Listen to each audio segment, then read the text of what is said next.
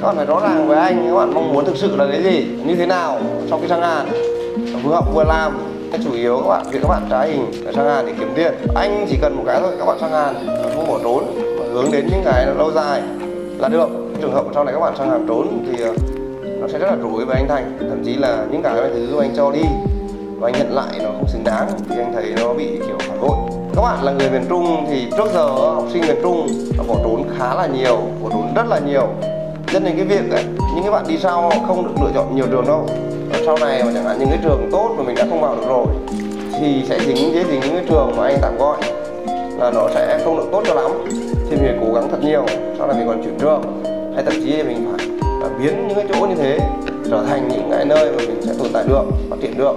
Thì cần cái hành trang anh hay nói là topic hay là tiếng Hàn hay thậm chí là những trải nghiệm của các bạn ở Việt Nam trước khi qua Hàn. Để mà anh gọi là yếu tố thành công có hai yếu tố đơn giản thôi một là việc các bạn chọn đúng nghề, đúng ngành, đúng cái mà mình mình mình thực sự ấy. Cái thứ hai là khi mình đã chọn đúng ngành nghề rồi á, thì các bạn phải giỏi cái ngành nghề đấy.